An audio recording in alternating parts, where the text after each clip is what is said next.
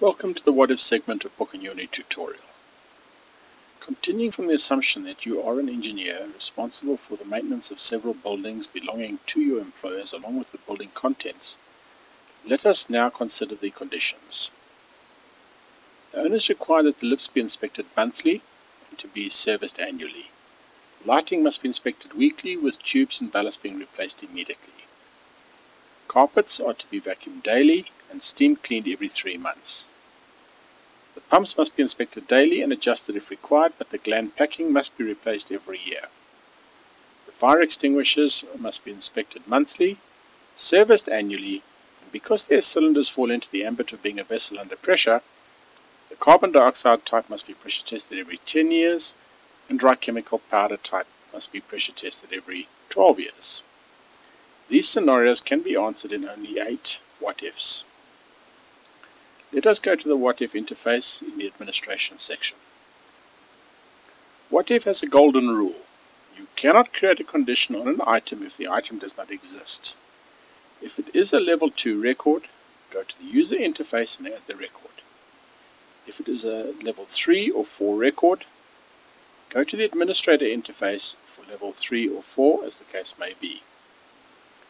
We select the add button and then the level on which the condition is to be applied in the first field. All of the activities that we referred to earlier will be resident on level 3.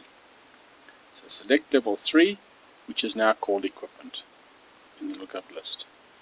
We now describe the activity to be planned, lift monthly inspection. We then select the equipment type from the navigator and using the arrow button to populate the field. Risk assessment should be completed, but we will leave for now. A risk assessment is the effect of the activities on the occupancy, insurance, evacuation, physically impaired persons, etc. Compile the safe working practices. Again, we will leave for later. This would be the hanging of signs and any other rules to ensure that the person performing the work or within close proximity of the work being performed are not put at risk or of injury. At the assessed competencies, we allocate the competency required to perform the work. In this instance, the competency is lift serviceman. If the competency required does not exist, we create it here. The allocation of the competency to a person or supplier occurs at the administrator interface for both. We now progress to setting the intervals. The first option counts in days, months and years. The second option allows for the third Wednesday every four months and permutations thereof. In this instance we are creating the monthly inspection of the lifts, so we will set the intervals to one month.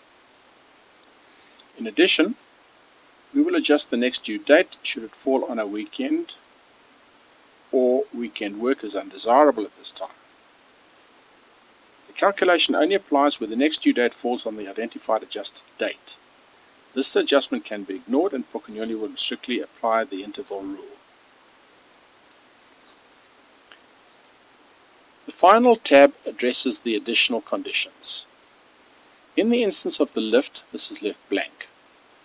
In the instance of the fire extinguishers that have the additional condition based on their extinguishing medium, extinguishing medium would have a value against it. In this instance, the 10-year rule would be applied to fire extinguishers filled with carbon dioxide, and a separate rule would be applied to pressure test for dry chemical powder extinguisher every 12 years. For all of the other items created on level 3, now renamed equipment, this tab will be left blank. Select the Done icon.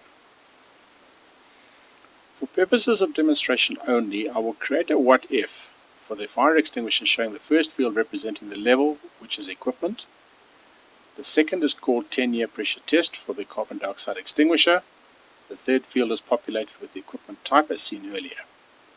By selecting the word medium on the, on the condition that the following is true tab, the navigator changes to show the medium types. Select carbon dioxide and populate the field next to the word medium. The rule is now set for an extinguisher that has a carbon dioxide medium. Pookanyoni will now automatically search and apply every instance where these conditions are true. The next due date. As Pookanyoni does not know when the activity was actually performed, it assumes that it happened today. If this assumption is incorrect, a new start date must be inserted within the tab called Activity List. All new records will obtain the what if interval provided they satisfy the conditions. If a what if is deleted, Pookanyoni will remove all activities throughout the database associated with that particular what if. Equally, the database will correct if the interval is altered in the what if. To verify this, let us proceed to the user interface and navigate from customer B to site 4 to equipment. Select the tab called Activity List, then move between the records shown in the navigator. Only one of each item has been created to assist in this demonstration.